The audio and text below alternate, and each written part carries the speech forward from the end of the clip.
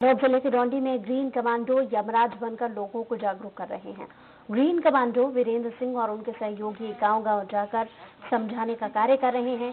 नियम पालन ना करने वालों को यमराज बनकर डरा रहे हैं। कोरोना को लेकर गंभीर नहीं हुए और सोशल डिस्टेंसिंग का पालन नहीं करते, मास्क नहीं पहनते तो हम आपके प्राण हर लेंगे। आपको यम लोग ले जाएँगे कहकर दौड़ाते हैं। जो लोग सोशल डिस्टेंसिंग का पालन कर रहे हैं उनसे हाथ जोड़कर ये कहते हुए निकल रहे हैं कि इनका हम कुछ नहीं कर सकते, ये सुरक्षित है।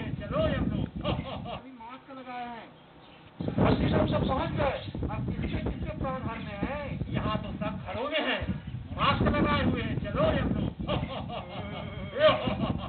प्रभु, यहाँ तो सभी मास्क लगाए हैं और सोशल डिस्टेंसिंग का भी पालन कर रहे हैं। अब हमारा यहाँ कोई काम नहीं। चलो हम लोग ए मानव इस महामारी में तुमने मास्क क्यों नहीं लगाया है? प्राण भर लूँगा। चलो इसे हम लोग लेके, चलो।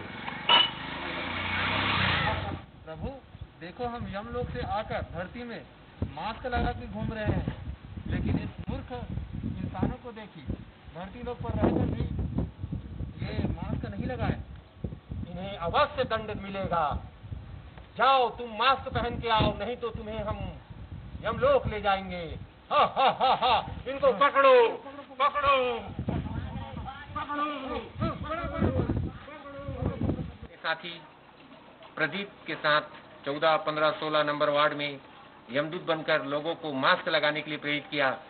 शासन प्रशासन पूरा देश महामारी से जूझ रहा है। अभी भी कुछ लोग बिना मास्क लगाए यूँ ही घूम रहे हैं। यम है यम। सुधर जाओ, नहीं तो तुम्हें सीधा यमलोक ले जाएँगे। हा हा हा हा हा। अगले